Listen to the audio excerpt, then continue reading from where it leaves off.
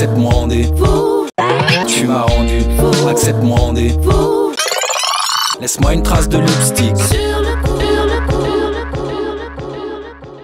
Obama, Bomaye, Obama, Bomaye, Obama made it. Obama is the official candidate for the presidential, the presidential race for the American election. We love you, Obama. First, I have to kiss you because I'm so proud. I woke up this morning. I was like, yes, we, it's done. And you know, to share my happiness with me tonight, I have a special guest. Her name is Djamila. She's from Bordeaux. We are in Quebec right now. We are in Canada, and uh, I, I, I want to give you know give Djamila the chance to speak with Senator Obama, so she can tell her, you know, I mean, congratulate him and and, and, and, and say whatever she wants to say. Alors, qu'est-ce que tu as envie de dire à Obama là aujourd'hui, en ce jour spécial? Et bon courage, de toute façon il arrive à gagner, donc c'est bon. Mais qu'il tienne ses promesses et de toute façon on a confiance en lui. So she says that she's very happy that uh, uh, best luck, you know, Obama, in your work. And please, please, you know, the promises that you made to the, your people, please, you know, make those promises be real. Because this is what, you know, everyone is expecting from you. So this is what Djamila has to say. And one question, one more question to Jamila.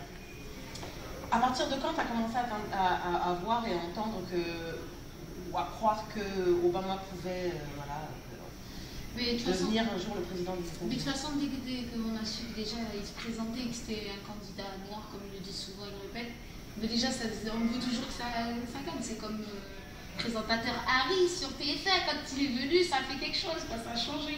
Donc lui, ça va changer les choses. Et voilà, on l'a soutenu. Franchement, on, pensait, on le voyait perdant, parce que voilà, on connaît le trafic, toute la politique et tout ça.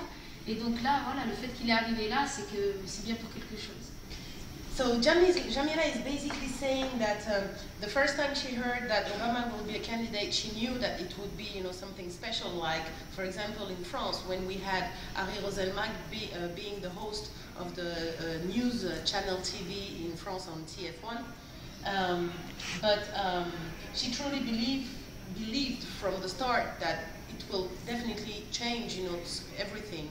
And oh no, no, she didn't believe it from the start. No, at the beginning she was like very doubtful because she was like, oh, all those politics, you know, they cheat, they, you know, they do their thing. And finally, at the end of it, she kept the hope. And she was right because Obama, Bomaye, Obama, Bomaye. Well, it was Helen from the Millions on Rendezvous in Quebec, Canada. Obama, we love you. We're still here. We're done with you for a lifetime. For, and for our I love you. Obama.